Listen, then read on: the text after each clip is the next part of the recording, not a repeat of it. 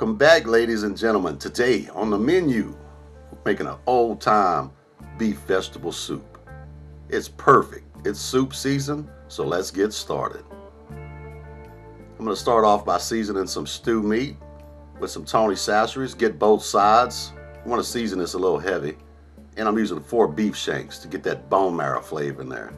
I'm going to brown this down want to get a good fond on the bottom of that pot to give that flavor to the soup. Once it's done, remove that. We're adding a trinity. Celery, bell peppers, and onions.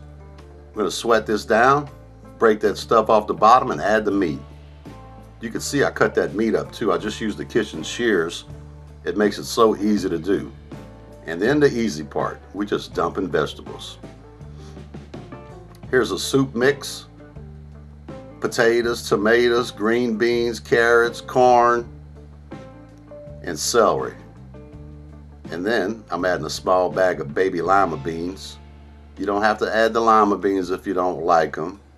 I grew up on it, so that's what I'm using. And one can of sweet corn, just to sweeten that soup up a little bit. And at this point, I should have used a bigger pot, but we're gonna struggle through this anyway. So I'm just using generic tomato juice. The only time I'll add water is when it reduces and I need some. But we'll just fill it up, put the lid on there, and get it simmering. You'll see how easy this is. You're pretty much done with it here. All you're doing is playing with it, stirring it, letting it cook. After it comes up to a simmer, I'm going to remove the lid crank the heat up a little bit higher and just let it simmer at a low boil for an hour. You can see how nice and thick that's getting already. All those flavors are melting together. Oh yeah, you can tell this is gonna be good right here. So I'm gonna simmer this for an hour. After that, I'm gonna add some baking soda. Not the one from the fridge. Buy some good baking soda. I'm gonna add one eighth teaspoon in here. And you'll see it start foaming up. It's neutralizing all that acid in the tomatoes. So anybody with heartburn is gonna thank you.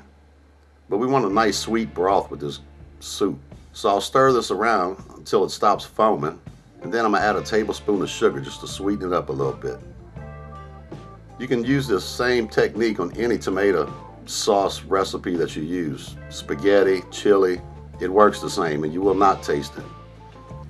So after about an hour, skim off all that fat and the foam Get all that yucky stuff out of there. You don't need that in there.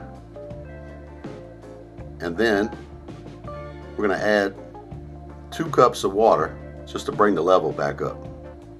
At this point, we're pretty much done. I'm just going to bring it back up to a simmer, let it cook another two hours till the meat gets real tender.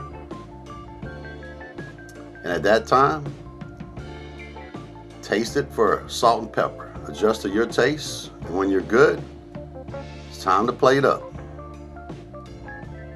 Look at that gravy on there. Oh yeah, this is gonna be good. Hope you enjoyed the recipe. Don't forget to like, subscribe, click that bell for notifications, and y'all cook that.